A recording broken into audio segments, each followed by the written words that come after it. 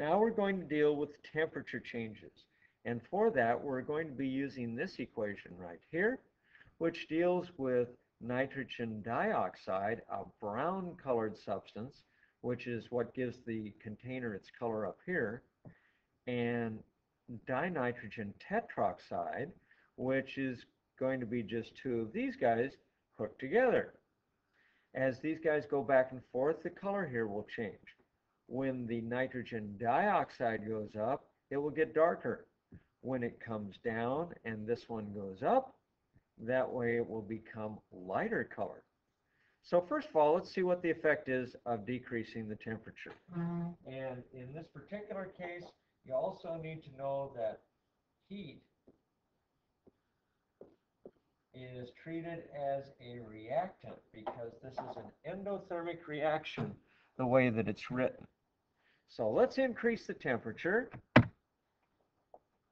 And as we increase the temperature, we are going to see Le Chat react to that increase in temperature. There we go. You have increased the temperature of the system by adding heat. That's the normal narration. I'm doing my own.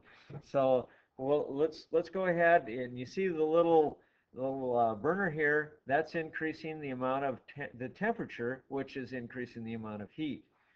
And as you see here, because heat is on the left side, then when we are doing that increase in heat, Le Chat wants to decrease the heat.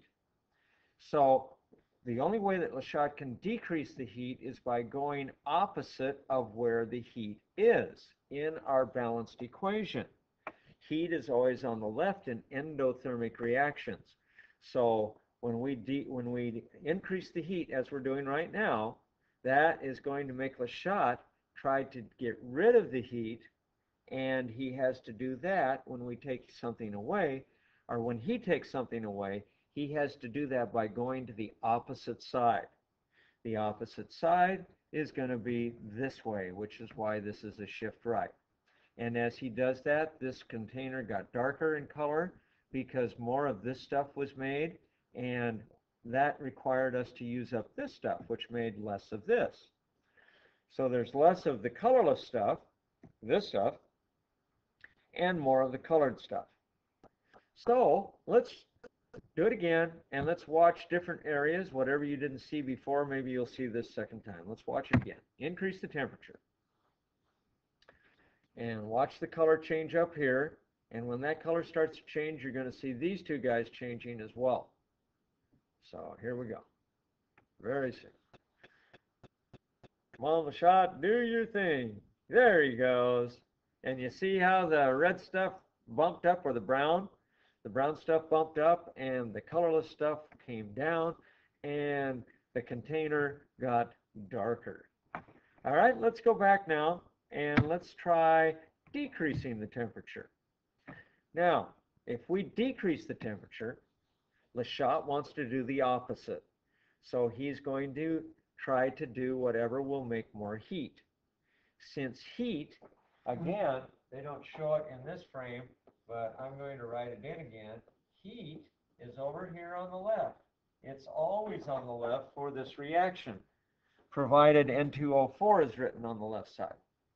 So if heat's over there and we decrease the temperature, you'll see a cute little ice bath come up underneath this thing. But as we decrease temperature, what's going to happen is Le Chat wants to, that's right, increase temperature. So the only way that he can increase temperature, increases always require going to the same side as the stuff is on. In this case, the stuff is temperature. So increasing the temperature is going to happen this direction, which is Le response. Let's watch it happen. There we go. Oh, see the little ice bath show up here? Now we're taking heat out. And Le is trying desperately to make all the heat he can. And as he does so, he's going to need to use this up. See it come down? And you'll see them also doing this up here. Did you see those two guys come together up in here? Yeah, that's what's going on.